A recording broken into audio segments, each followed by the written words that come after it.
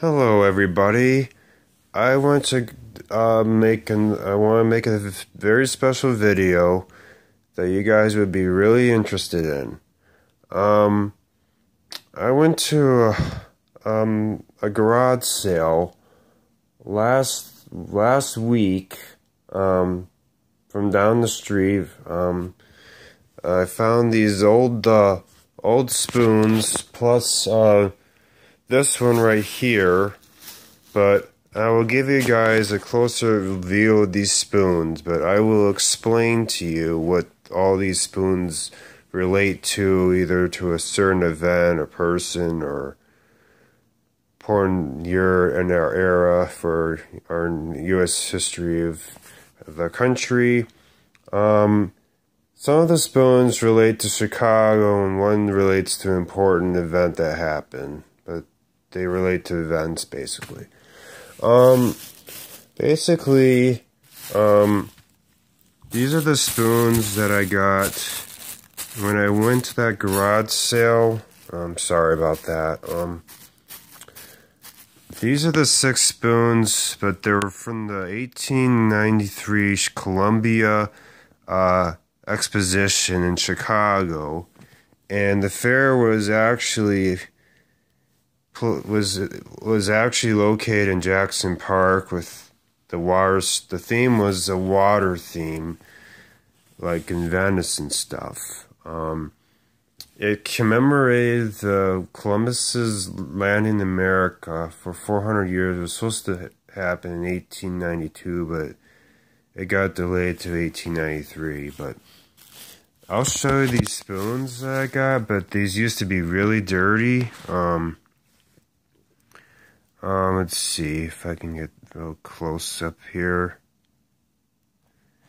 Um, I might have to just do this. Um,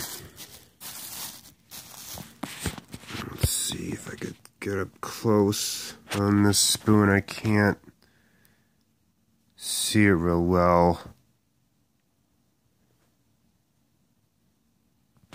Okay, so um, as you can see, I can't really get real close to these spoons. Come on, focus. Come on. Anyway, one of the spoons is basically from the agricultural building. Um, there we go. Okay, this is a spoon of the agricultural building, as you can see.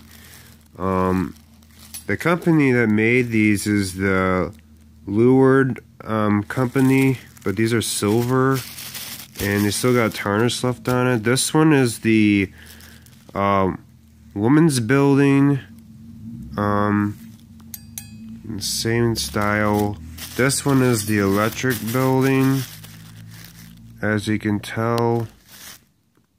Um, yeah, this is the electric building, as you could tell. Um, but that still has tarnish on it. Um, this one is basically the the U.S. government building. Uh, you could probably see that really good. Um, sorry about the glare of the on the building there, but this is the other one. This one is the the Art Build Palace. Um, this is the building that was later changed. Uh, became part the only building that's left from the World's Fair, but it's now the um, Science and Industry Museum now. Um, and then this one is what I like. This is the most interesting one. The administrative building is very, very the very centerpiece looks like our capital in, Washington. But I'll give you a closer look on this spoon. Um, this is the U.S. government building. This one is the electric building. Um, you could see real closely on that. And that was the most important building because it produced electricity for the fair. This is the woman's bill, and this bill was dedicated to all the women in the history from that one. This is the agricultural building, basically on agricultural in the in our um, farming and stuff. They had different stuff. The government building had some important stuff like the stuff in our our navy, important military stuff that was in there. They displayed. The art palace basically housed the different arts, different kind of arts from different countries and stuff. Displayed all kinds of artwork. Very interesting. The administrative building was basically the building that had um, important information you, they they that people wanted to know about the fair, like a maps or stuff like that. Um, so yeah, so they still got tires left on them, but yeah. Um. Anyway, it only lasted for a year, and then they took they tore all the built. No, actually, in the winter of 1894, the fire actually caused the buildings to catch on fire, and they were basically made of wood and steel. They weren't made to last. The only building that's still around is that that the build that one that's called the Science and Industry Museum, King Museum in 1933 in Chicago. Um, and the little um, and the only other thing that's left um, is the the Japanese garden that still sits in the same spot, but during World War II, and uh, Jap Japan actually gave it to Chicago as a gift after the fair was over with. And then the night, in World War II, a bunch of arsonists just burned the buildings, the Japanese buildings down. So the Shrunken Garden and that, and then there's a replica of the Statue of the Republic. Uh, would have been bigger at the fair, but that would that was actually in the river where um, everything was at, and there was a lot. The the the the fair was lit up with lights, beautiful lights, and uh, and William Howard. I mean, um, uh, Grover Cleveland was the guy that that turned the lights on for the start of the fair, and he it was it was the most spectacular fair ever. It was like the Roman palaces, Roman architecture of its time, and in the twentieth century, and there were all these different nationalities and countries that were there. Uh, I can just name all of them, but there's a lot to name. Basically, on the they had food they had things they, they, they sold from different countries and like clothing, textiles, um, art, um, animal skins, um, elect- electrical stuff, and some amazing stuff. And if it's too bad that that that's all behind us you know that's important history. We might we might have another World's Fair someday. You know, we just don't know for sure. You know, history will probably repeat itself. But anyway, that's a little bit about the Columbia Exposition. Another fair that Chicago did in the 1930s, but it was very important to them. But it is called the 1933 Chicago World's Fair Century of Progress, which commemorates Chicago's 100th anniversary of of um let me just try to do this um 100th anniversary of when they had their city founded in 1833 they did it for for one year from 1933 to 34 and that woman it says i will century of progress um, it says Chicago on it on the spoon here. I'm mm, sorry about this bad lighting I got. Okay. Um, don't know if you could read this, but...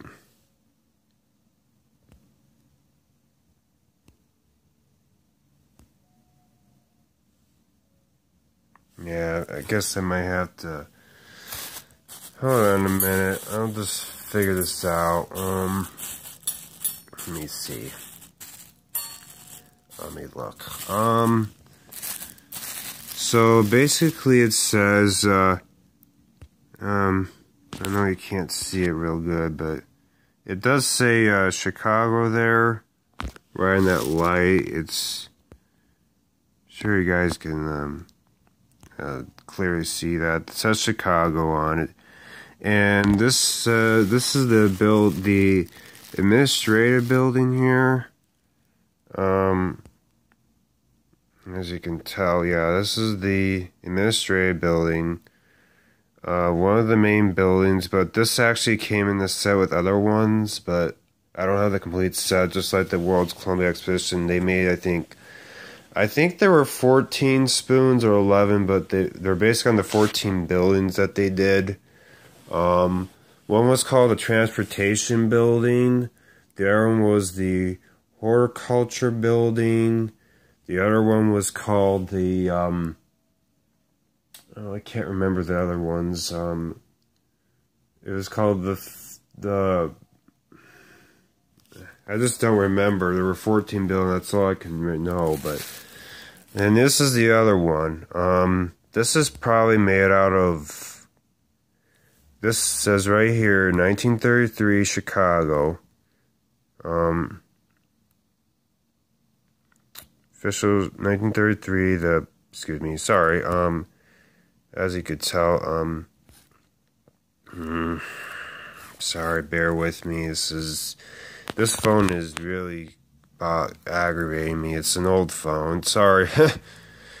Bear with me um ah man this is so aggravating. Okay, here we go. It says here, A Century Progress, 1933 Chicago. Um, if you could see that, but oh, oh man, okay. Um, uh, this phone is so aggravating. Um.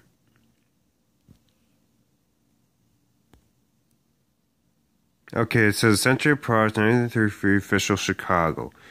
Um, it was to commemorate everything that they done. They all the future stuff and what would happen today, like the future house, um, the future cars, the, um, all the te- all this technological stuff that they came up with these advancements and they had a lot of very interesting stuff. Also, different countries again as well from the 1893 Chicago Columbia World's Fair. Um, I have another thing that's from the World's Fair. It's uh, this coin I got. I cleaned this one. It was bronze. Century prize from 1833, 1933, 34 Chicago. This coin just has the good luck coin. Take me for good luck. I cleaned this really good. It's very shiny. Um, um, I got a few more things from the World's Fair of Chicago that I'd like to show you guys. Um, let me go and get them really quick. Um, uh, that's all covered up with stuff, but oh, actually, one of them is a tray from the Ford's um, there's a tray for the Ford's building from 933. I can't show you that because I had stuff on top of it. And the other thing that I have is some nine, some tickets from the World's Fair. Um, but they're actually in my closet. But anyway, that that basically wraps up what I did find. Um, I did find some other cool stuff, but not as cool as this stuff that I got. Um, I hope you guys enjoyed the history of um, what I gave you guys about the 1893 World's Fair uh, Columbia Exposition, and then um, and then the 1933 um, World's Fair um, 1903 fair in Chicago, Community Harvard versus Chicago. Um, last year, Illinois turned 100 years old. Um, they started, they were founded in 1818 on December, I don't know, I think it was the 7th, I can't remember. Oh, one more thing. I have one more spoon, but it doesn't correlate to any of the other spoons, but um, this is actually about um, the battleship Maine. Um, this is the captain. It's basically called the the U.S. battleship Maine. It was a ship that was was actually in port in Havana Harbor. It was destroyed February fifteenth, eighteen ninety eight. Um, but the guy that was the captain of it was, uh, if I could read his name, Captain, uh, let me see it, cause I can't, can't see him. Captain uh, C.J. Sigsbee, um, United States Navy, he was in. Uh, this company made this one uh, standard, and he actually survived the, the crash, basically, the, the explosion, basically. Uh, something blew it up, and it caused the Spanish-American War to start. Um, with Theodore Roosevelt and his Rough Riders. Um, I think it lasted either two or three years, and it finally ended after that. Um, but I know that doesn't correlate to what I was talking about about the fairs. Um, actually, fairs actually originated in Europe. That's where they first started, and eventually it got spread around the world, and eventually it came to America. Um, how the, the Columbia Exposition Fair started was they they had two cities, biggest cities in the world. They had to decide where to do it, either New York City or Chicago. And I guess uh, U.S. government overruled. They they chose Chicago on. Uh, was on March first, eighteen ninety, and like I said, it took like at least a year or a couple of years for the whole fairgrounds to be done by the start the fair started on May 1st, 1893 when it was first started. Um anyway, hope you guys enjoyed all the information I gave you. Um please like the video and subscribe to my YouTube channel. Alright, have a good day. Bye.